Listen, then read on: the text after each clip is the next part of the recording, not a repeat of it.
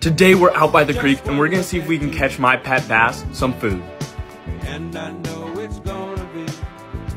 We had gone 30 minutes without catching a fish and it wasn't looking so hot. Until my friend here hooked into a fish. Except this drum right here might have been a little big for Gus to eat. So we had to get a release on him and look at him swim away. It took him a little bit, but he actually did swim away. So we continued to wait for that next bite, and it really never happened. So we had to take matters into our own hands and throw out the cast net. And sure enough, we caught some bite-sized minnows, perfect for Gus. So we brought him home, and we're about to see what Gus thinks about him.